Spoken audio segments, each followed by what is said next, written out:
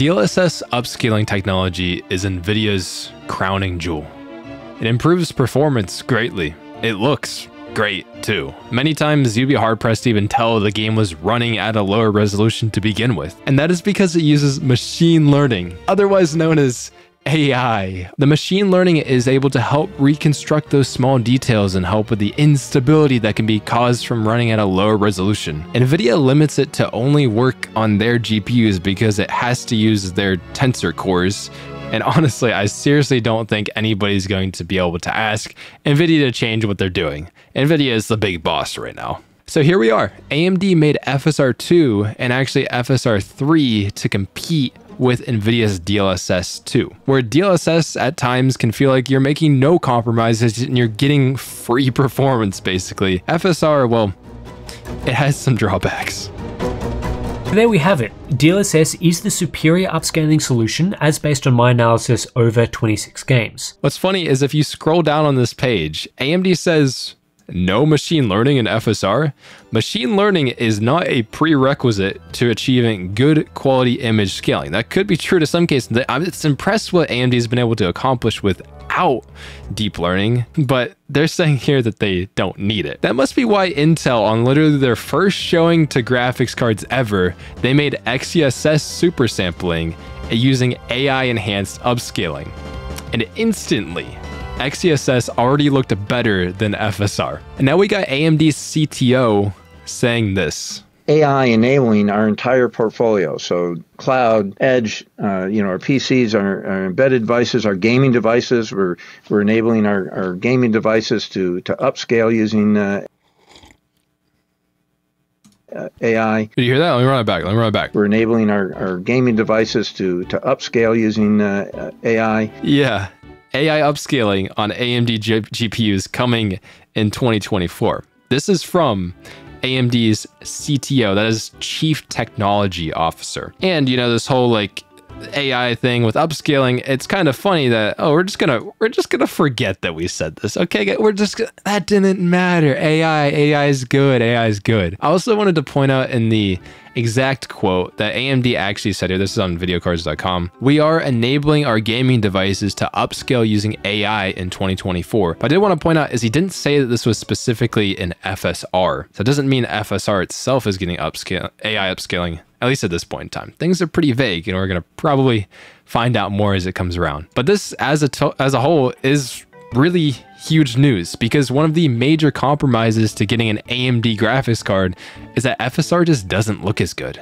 If DLSS is something you would always turn on, FSR just hasn't been the same. Plus, AMD GPUs, I mean, if you look at the market, they typically offer better price to performance. Like, say here, the 7800 XT versus the 4070.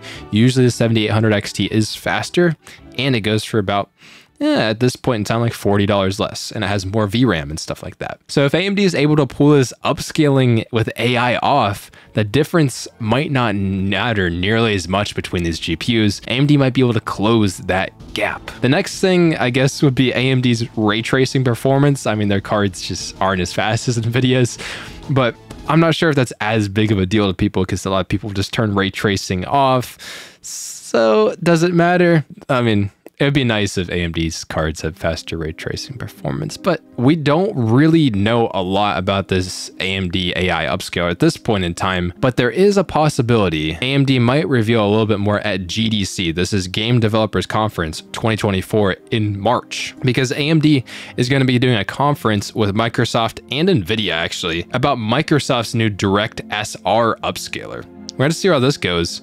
But it also makes me wonder is AMD's AI upscaling just this Microsoft upscaler? But let's kind of theorize in a different direction. Been talking about AI upscaling on AMD GPUs. That's a really good thing. It could close the gap between NVIDIA. That's all cool, Mr. Vex, but why is the video so much longer? And um, that's because uh, AI with FSR, it could have some glaring issues. Number one, what GPUs is AI upscaling going to work on? And this is a major issue because before when AMD introduced FSR2, right? And even FSR3, it pretty much worked on everything. But you know, as we saw with NVIDIA's GPUs, AI needs a specific way in order to process it to do it efficiently. NVIDIA uses their tensor cores to do DLSS, and Intel, for their XeSS upscaler, uses their XMX accelerators on their cards too. But AMD GPUs, they don't really have AI processors on them, except for their 7000 series GPUs. These do have AI processors on them. And at the moment, they're not really used for a whole lot. I, I'm just on Reddit here. RX 7000 series GPUs, AI accelerators purpose. These cards have them, but what are they using them for right now? At the moment, there's like this big thing that somebody's explaining what they could be used for. There's also that AMD has been prepping for AI inference in video games, which is uh, basically making more complicated AI in games, like the characters and stuff that are walking around the world. We haven't really seen any of this up to this point in time, but this is what these these AI accelerators on 7000 series cards are used for in gaming at the moment. And that does make me wonder, AMD's 7000 series cards could accelerate this AI upscaling. But that, that really begs the question, what's going to happen to all the people that are on 6000 series cards? On 5000 series cards. Is AMD going to be asking people to upgrade to a 7000 series card or higher? Like I just I don't think AMD has the the market presence or dominance that Nvidia has in order to demand people to upgrade to their tech. You can actually see that Nvidia had the exact same problem when they introduced DLSS. It, this only works on RTX graphics cards, and RTX cards started with 20 series in 2018. And one of the big points is that this is just following GTX 10 series GPUs, which were extremely popular, very good cards, but they couldn't use DLSS, they couldn't do ray tracing, all that stuff. Is is pretty controversial at the time that NVIDIA was asking you to upgrade to get this feature. But I do have to remind you that this was a while ago NVIDIA went through this. And nowadays, a lot of the most, like not every single card, but a lot of cards out there, the most popular NVIDIA cards in the world, are all capable of like DLSS. I mean, yeah, there's a select few, like 1050 Ti can't do it, 1060, 1650. But generally speaking, if you have an NVIDIA card now, then you can use DLSS. And that's because DLSS came out in 2018 and then the better version of it came out in 2020. But so would AMD be starting people on this upgrade cycle to get AI upscaling in 2024 when NVIDIA started people upgrading in 2018?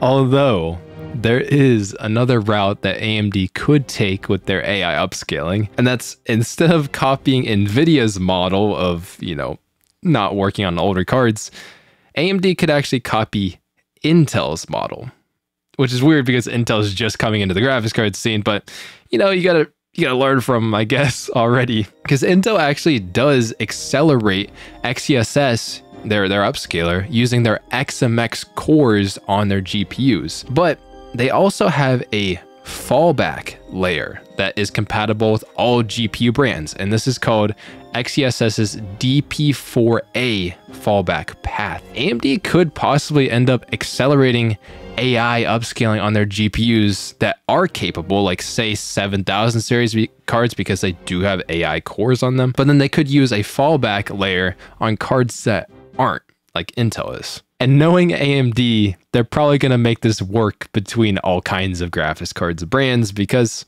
that's how they roll. The problem with this, though, is if you have to use a fallback path, it costs more performance to get the same level of quality with upscaling. And Hardware Unboxed tested this Tim found that you need to you need to drop XeSS down basically an entire tier of resolution scale in order to get similar performance when you're not on an Intel graphics card. However, he did say that the image quality benefit of using XeSS over FSR in most games is still worth that drawback of having to drop your resolution even more. It isn't in all cases, but a lot of the time, this is exactly what he said. So if AMD could make a fallback layer for AI upscaling if they're able to make it run a little bit more efficiently than Intel's XeSS DP4A fallback, it would allow it to work on a wide variety of cards while still looking better than FSR is currently, only with a slight performance hit. But we're gonna have to see how this pans out. The second thing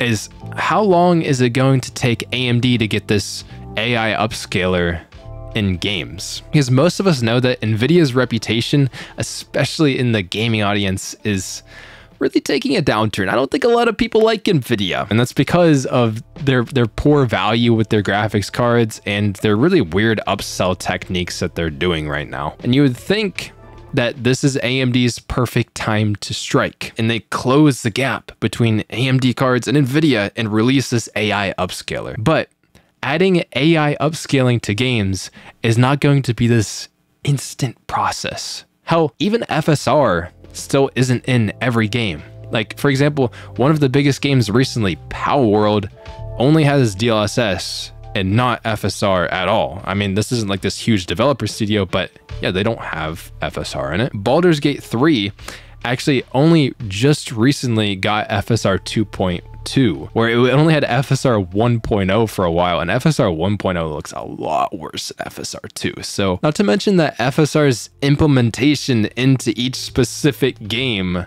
can be really like inconsistent. Some games FSR looks great, and I don't really have a, like a huge disadvantage, you know, between FSR and DLSS. And then some games FSR just looks like total doo doo. So, how long is it going to take for devs to integrate AMD's possible new tech here into games? How long will it take it to actually be good? Because we all know FSR 3 frame generation's been taking a while, and we've only just got to the point where FSR 3 frame gen is decent in games. It took a long time what if as long as it takes to get FSR AI upscaling in games, is NVIDIA just going to release something that's really cool and it's not going to matter again? It does, I will say, it does always help that AMD makes their technologies open source. So that's super cool and super like community friendly. Um, but they probably make their, their technologies open source because AMD is usually behind on this stuff. And this allows everybody to work on the project and not just AMD. But at least they're open source. At least they are. The rumor is that AMD is getting AI upscaling. What do you think? Does it have potential? I mean, honestly, the evidence we have right now is so vague. Do you even think this is what we're even talking about? Uh, like we can't even confirm it. But it wouldn't surprise me though if AMD is interested in making an AI upscaler because AMD as a company has been really interested in AI lately. That's kind of all they've been talking about. Look at their presentations. AI application, growing AI, next gen AI, build AI, history of AI innovation. Would not surprise me if in the background they're training their machine learning programs to make AI upscaling on their cards. But if this does happen, do you think this is going to be compatible on like a large variety of GPUs or is it going to be limited to AMD ones? That, that would surprise me. Is this AI upscaling, is it going to be too little too late? Is this even going to be better than what Intel's offering with XeSS, which is compatible with a wide range of GPUs too? Let me know what you think about this. This is all a whole interesting situation. I'm excited to see where AI upscaling on AMD cards is going to go definitely one of the most lacking parts about AMD cards and one of the major compromises you have to make in terms of gaming. That's been about it for me, and y'all have a good one. I'll see you in the next video, and peace.